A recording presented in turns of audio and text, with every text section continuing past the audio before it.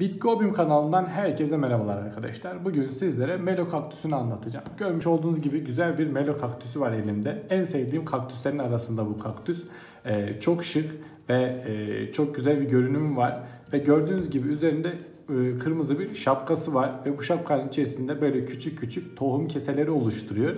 Bu kaktüsün ana vatanı Atlas Okyanusu'ndaki Dominik Cumhuriyeti'nin üstündeki Karayip Adaları. Buraya aynı zamanda Türk Adaları da deniliyor. Hatta haritada yazdığınız zaman Karayip Adaları diye e, üzerinde Türk Adası yazıyor. Bunun da sebebi e, zamanında orayı keşfeden kaşiflerin e, bu kaktüsleri gördükleri zaman üzerindeki kırmızılıkları Osmanlı dönemindeki festlere benzetmesinden dolayı oluyormuş. Bu şekilde o adalara da aynı zamanda Türk Adaları da deniliyor. Aynı zamanda bu kaktüse yurt dışında da Türk kaktüsü deniliyor. Bu şekilde de yine yurt dışında Türk kaktüsü diye anılıyor. Bunun da sebebi yine e, üzerindeki kırmızı şapkadan dolayı. E, bu şekilde tropik kuşak kaktüsü bu kaktüs. E, bildiğimiz o çöl kaktüsleri gibi değil maalesef. E, kıyı kesimlerde böyle denizin kenarında yetişiyor. O yüzden dolayı diğer kaktüslere nazaran çok az bir miktar daha e, nem olursa daha mutlu oluyor. Ama e, kuru yerlerde de gayet sağlıklı bir şekilde yaşıyor. Türkiye'nin birçok e, yerinde gayet sağlıklı, mutlu bir şekilde yaşayan, uyum sağlayan bir kaktüs. Yani dayanıklı bir kaktüs. O yüzden dolayı endişeniz olmasın bakabilir miyim, bakamam mı diye kesinlikle bakabilirsiniz. Dayanıklı bir kaktüs. Zaman içerisinde büyüdükçe bu üzerindeki silindirik yapı daha da büyüyor, daha da gelişiyor. Ne kadar büyürse o kadar yaşlı olduğunu gösteriyor bu kaktüsün ve e, her yılda bu, şekilde tohum keseleri oluşturuyor üzerinde ve bu tohum keseleri sayesinde e, yayılmaya ve e, üremeye devam ediyor. Eğer Akdeniz iklimine sahip bir şehirde yaşıyorsanız, Adana gibi, Mersin gibi nemli bir şehirde, ılıman bir şehirde yaşıyorsanız bu kaktüs için olabileceğiniz en güzel yerde yaşıyorsunuz. En güzel yerde bu kaktüsleri büyütebilirsiniz orada. Eğer ki çok kuru e, havası kuru bir yerde yaşıyorsanız o zaman arada bir ortamı e, nemlendirirseniz o zaman bu kaktüs daha mutlu e, yaşayabilir, daha güzel büyüyebilir. Formu da yine daha güzel olabilir. Ama dediğim gibi çok dayanıklı bir kaktüs. Her ortama uyum sağlayabilen bir kaktüs. O yüzden bakabilir miyim, bakamaz mıyım diye kesinlikle endişeniz olmasın. Çok şık bir kaktüs aynı zamanda. Bu kaktüs o kadar çok büyük devasa boyutlara ermiyor. Belli bir noktaya geldikten sonra usul usul şapkasını büyütüyor. Sürekli şapkası daha da büyük, daha da uzun hale geliyor. Bu şekilde şapkası uzun, büyümüş olan kaktüs görüyorsanız o zaman oldukça yaşlı bir kaktüs görüyorsunuz demektir. Şimdi bir de sizlere tohum kesesini göstermek istiyorum. Bakın burada ufak bir tohum kesesi var. Şimdi bunu buradan dikkatlice alıyorum. Bu şekilde tohum keseleri çıkartıyor. Bakın içerisinde küçük küçük buradan tohumlar çıkacak. Bakın bu şekilde küçük küçük tohumları var. Ve bu tohumları e, kuru bir peçetenin üzerinde serip, bekletip, kurutup ondan sonra ekim yaparsanız o zaman bu tohumlardan da yine yeni melo kaktüsler üretebilirsiniz, çoğaltabilirsiniz. Bununla da ilgili yine yeni bir video hazırlıyorum. O videonun da hazırlandıktan sonra aşağıya linkini bırakacağım. Aşağıdaki linkten melo kaktüslerinizi nasıl çoğaltabilirsiniz, nasıl tohumdan yetiştirebilirsiniz öğrenebilirsiniz. Drenajı yüksek, suyu tutmayan topraklardan hoşlanıyor melo kaktüs. O yüzden dolayı diğer kaktüslerinize nasıl bir toprak hazırlıyorsanız yine buna da aynı şekilde o toprağı hazırlamanız gerekiyor ve süzek bir toprak olması lazım tabii ki de kaktüs topraklarının.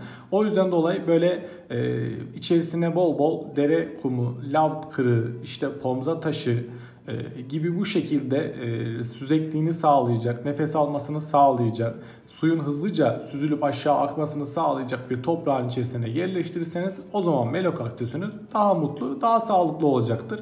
Melo kaktüsümüzün saksı değişiminde yine bahar ayında yapmamız gerekiyor. Tüm bitkilerde olduğu gibi, tüm kaktüslerde olduğu gibi ben de bu kaktüsümü e, sonbahar ayında almıştım ve saksı değişimini yapmadım. E, bahar ayını bekledim. Şimdi artık bahar ayı geldi, Mart ayı geldi. E, Mart ayında ya da Nisan'da bulunduğunuz bölgeye göre bu değişebilir. Eğer Akdeniz ikliminde böyle daha böyle denize yakın bir iklimde yaşıyorsanız Mart ayında yapabilirsiniz. Hatta Şubat ayında bile olabilir. Ama eğer daha yüksek kesimlerde yaşıyorsanız, daha iç kesimlerde yaşıyorsanız, daha bulunduğunuz ortama bahar gelmediyse o zaman e, Nisan ayında saksı değişimini yapmanız daha münasip olacaktır. Artık saksı değişimine geçebiliriz. Size nasıl bir saksıya yerleştirebilirsiniz, nasıl bir toprağa koyabilirsiniz onları göstereceğim. Ve kaktüsümüzü yeni bir saksıya yerleştireceğiz. Düzenimi güzelce ayarladım. Yeni saksımı da ayarladım.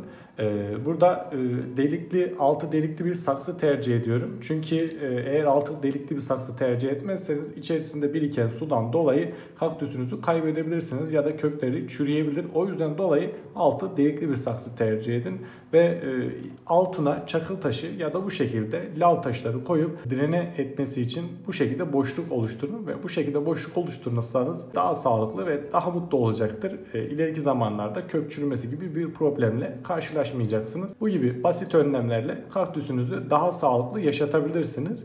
Ee, gördüğünüz gibi lav taşını serdim. Altı delikli tabaklı bir saksı kullanıyorum. Ee, şimdi kaktüsümü eski üretim saksısından çıkartacağım ve eski toprağından ayıracağım. Ondan sonra da e, yeni saksısına güzelce yerleştireceğim.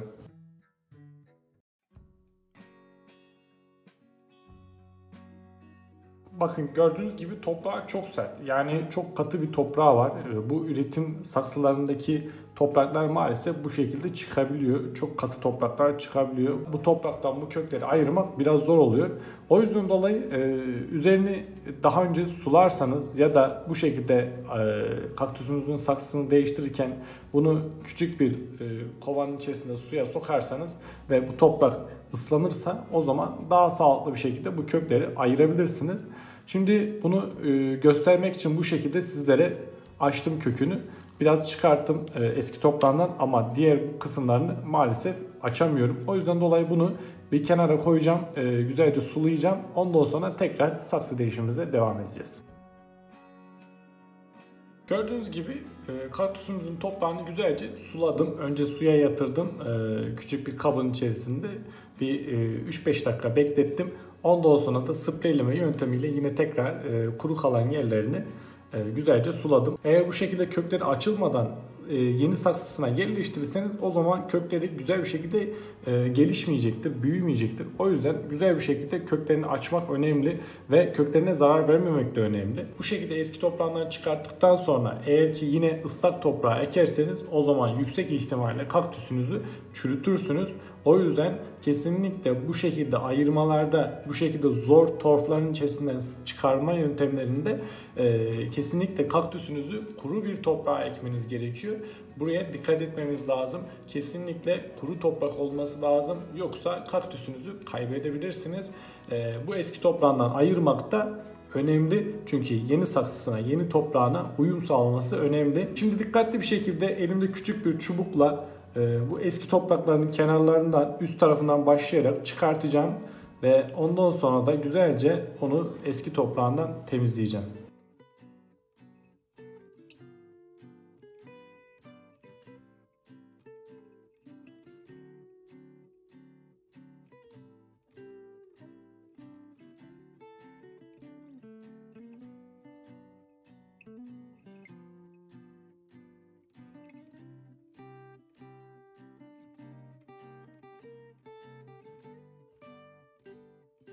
Gördüğünüz gibi kaktüsümüzün toprağını güzelce açtık. E, güzelce ayırdık toprağını.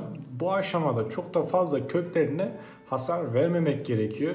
Bakın güzel bir şekilde ayırdım ama çok da fazla içerilere girip daha da böyle derinleri kurcalamanıza gerek yok. Ee, bu şekilde sadece köklerini açıp böyle saçak saçak haline geldikten sonra ekimini yapabilirsiniz. Köklerini böyle tamamen temizleyip o şekilde yeni toprağa ekmek biraz sakıncalıdır.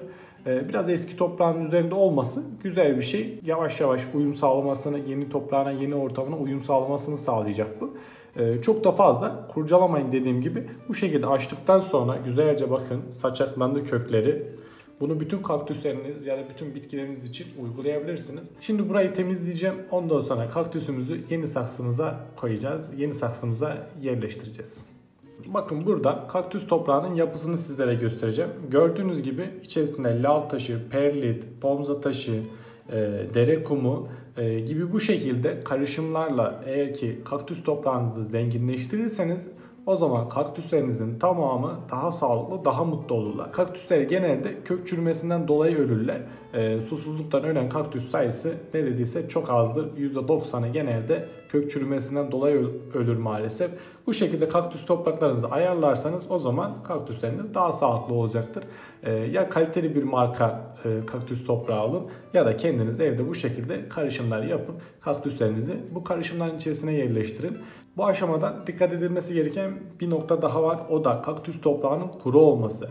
Eğer kaktüs toprağınız nemli olursa, ıslak olursa o zaman yeni ektiğiniz kaktüsünüzün köklerine zarar verebilirsiniz. O yüzden yeni toprağınızı güzelce kurutun ve o kuru toprakla ekim yapın.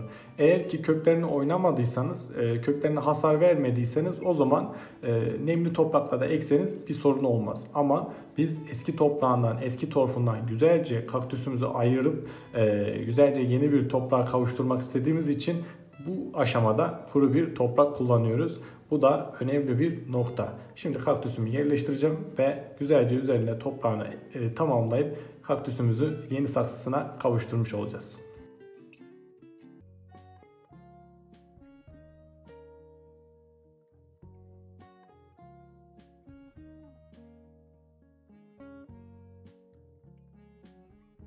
Görmüş olduğunuz gibi Melo kaktüsümüzün saksı değişimini sağlıklı bir şekilde başardık arkadaşlar. Kaktüsümüz yeni saksısında artık güzelce o saksıyı da süsledik. Kenarlarını gördüğünüz gibi lav taşıyla. E, lav taşıyla kaktüsleri süslemek gerçekten çok güzel. Aldığımız bu lav taşlarını hem aşağıda direne etmesi için tabanına koyuyoruz hem de yukarıda süslemesi için e, kenarlarına yerleştiriyoruz. Gördüğünüz gibi çok şık bir kaktüs oldu artık üretim saksısıyla bu şekilde daha güzel bir saksı arasında gerçekten dağlar kadar fark oluyor. Böyle görmek, böyle izlemek kaktüsünüzü gerçekten çok keyif veriyor insana. E, kaktüslerimizin bu şekilde saksı değişimini tamamladıktan sonra kesinlikle en az bir hafta su vermememiz lazım. Bunu tekrar söylemek istiyorum çünkü bu önemli bir konu. Eğer bir hafta içerisinde su verirseniz o zaman kaktüsünüzün köklerinde çürüme meydana gelebilir. Çünkü ne kadar e, hassas davransak bile kaktüslerimizin köklerinde şu an hasar e, alınmış durumda. E, kaktüs, kaktüslerimizin köklerinde kesinlikle e, küçük minik hasarlar var. Eğer ıslak bir toprakta kalırsa bu kökler o zaman e, o kökler çürümeye başlayacak ve usul usul o çürüklük yukarıya doğru gidip e, kaktüsünüzü tabandan kaybetmenize neden olacak. O yüzden e, bir hafta en az bir hafta su vermememiz lazım. Ben bir ay boyunca bu kaktüsüme su vermeyeceğim. E, eğer havanın muhalefetine göre e, çok hızlı bir şekilde hava ısınırsa o zaman belki 2 hafta sonra 3 hafta sonra su verebilirim. Bu aşamada kesinlikle bir hafta en az su vermememiz lazım. Eğer ki verirseniz çürüme riskiyle karşı karşıya gelmiş olursunuz. Bu şekilde e, kaktüslerinizin saksı değişimini yapabilirsiniz. Melo kaktüsümüzün saksı değişimini yaptık. Umarım bu video sizlere faydalı olur. Kanalıma abone olmayı unutmayın. E, yeni gelecek olan videolar için de e, zil tuşuna basmayı unutmayın. Sağlıcakla kalın. Kendinize iyi bakın.